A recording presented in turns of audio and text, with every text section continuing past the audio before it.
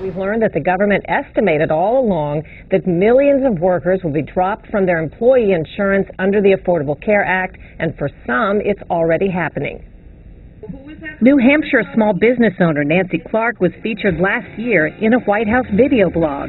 The health care law is about people like me. It's Nancy Care. But things haven't gone quite according to plan for Nancy Care. Last month, her insurer said it was hiking rates 39% starting next year. That's a $30,000 increase in cost to her. I didn't take it seriously because I have the opportunity to go on healthcare.gov. So Clark decided to terminate the insurance she's offered her eight employees and turn to Obamacare. But there's been one problem after another. We're experiencing technical difficulties. That's the nature of the beast biggest problem is going to be. Virginia Beach business owner Betsy Atkinson is also canceling company insurance because her plan doesn't meet new Obamacare requirements and she can't afford to offer employees one that does. They're going to have to go find their own insurance. I'm sorry.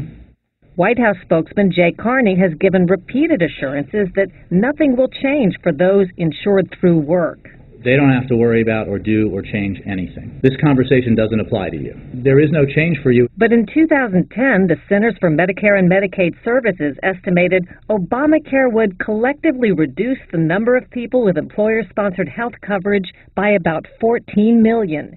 The reason is some big companies will opt to save by paying the relatively small penalty for dropping employee insurance. Small businesses don't have to supply insurance and may find new policies too costly.